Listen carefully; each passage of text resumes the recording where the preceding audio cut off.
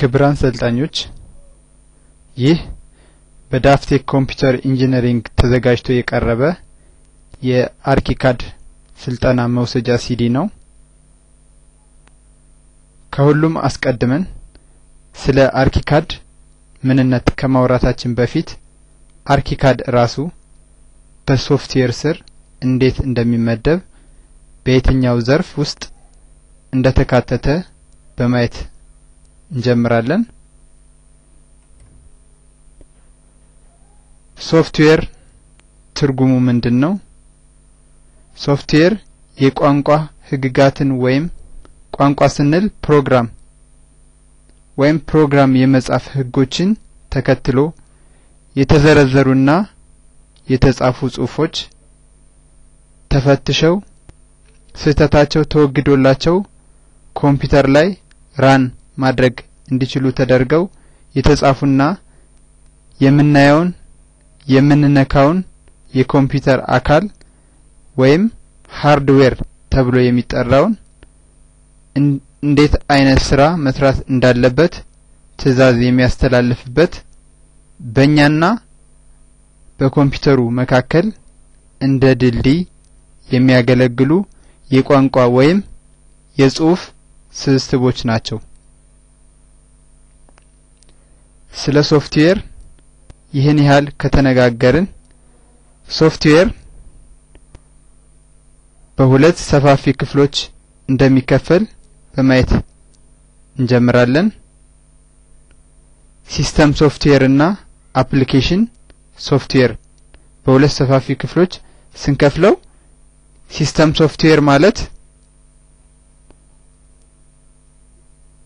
ኮምፒውተራችን ምን አይነት እይታ እንዲኖረው keyboard ና mouse ስንጠቀም ምን ምን መሰረት ተከትለን ብንሰራ እንዴት እንደምንግባባ ኮምፒውተሩን አንድ ጊዜ ውስጡን መዋቅሩን የሚዘረጋልን ማለት ነው። ለምሳሌ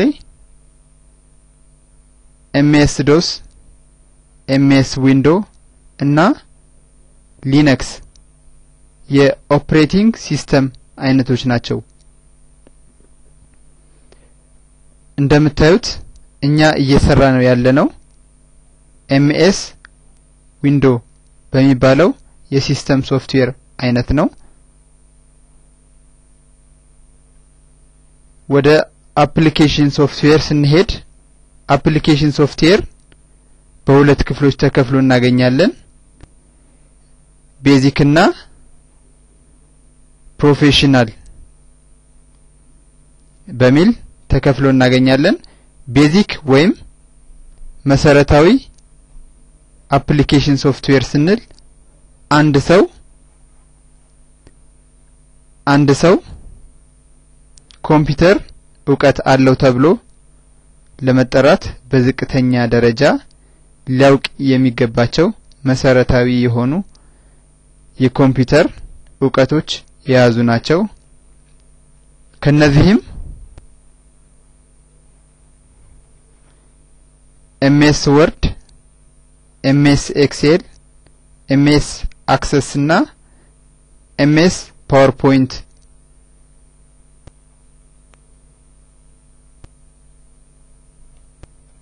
ናቸው።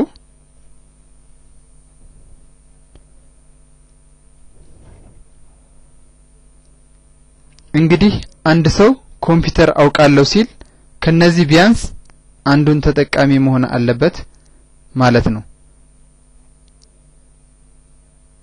ከሱ ወጥተን ሁለተኛ application software ዘርፍ ስናይ ደግሞ professional application software ወይም ሙያን መሰረታዊ ያደረገ የሶፍትዌር ዘርፍ ነው። ይህ ማለት በአንድ ስራ ውስጥ ስራውን ሊያቀሉለት የሚችሉ ፕሮግራሞች ተጽፈው ይቀመጣሉ። በዛ መሰረት አንድ ባለሙያ በሙያው የሚፈልገውን ሶፍትዌር አውጥቶ ስራውን እንዲያግዘው አድርጎ ሊጠቀምበት ይችላል ማለት ነው። እዚህ ላይ የምናየው professional application software ውስጥ ArchiCAD፣ AutoCAD እና SAP የሚል እናያለን። እኛ የምናየው ArchiCAD የሚለውን ይሆናል። እዚህ ጋር ArchiCAD ማለት only ለ architectural ብቻ የምንጠቀምበት ሶፍትዌር ነው ማለት ነው።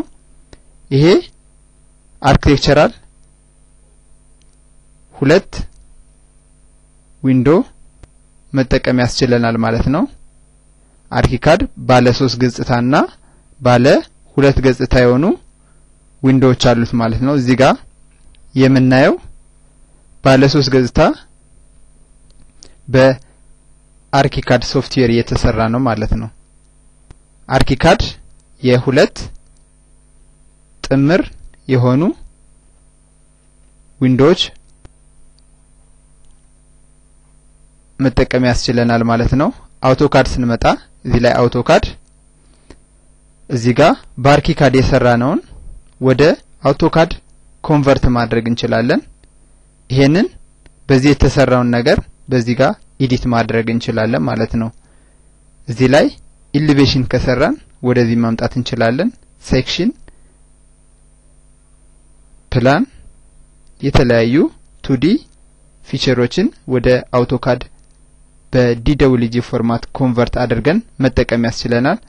AutoCAD ከተለያዩ ሶፍትዌሮች ጋር መገናኘት ይችላል። ArchiCAD ም እንደዚሁ ተመሳሳይ ከተለያዩ ሶፍትዌሮች ጋር መገናኘት ያስችለናል ማለት ነው። AutoCAD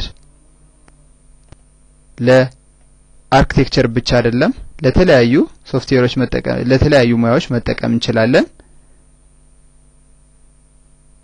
ለ electrical፣ ለሳኒቴሪያል፣ ለ structural፣ ለ mechanical ለተለያዩ ስራዎች መጠቀም ያስችለናል። እዚህ ላይ የምናየው ደግሞ SAP የሚለውን ይሆናል።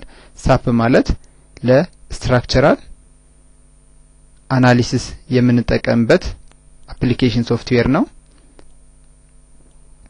ይሄ ደግሞ በእነዚህ የተሰራውን ትክክለኛ load መሸከም ይችላሉ ወይስ አይችልም ብለን check የምናደርግበት የ structural analysis መስሪያ ነው ማለት ነው። እስካሁን ያየናቸው በሙሉ የ በሶፍትዌር ስር system software እና application software ብለን ከዛም በ system software እንደዚህ ከፋፍለን እና application ም በሁለት ከፋፍለን እኛ የምንፈልገውን specific የሆነ ፕሮፌሽናል ውስጥ አርኪካድ እናያለን ማለት ነው።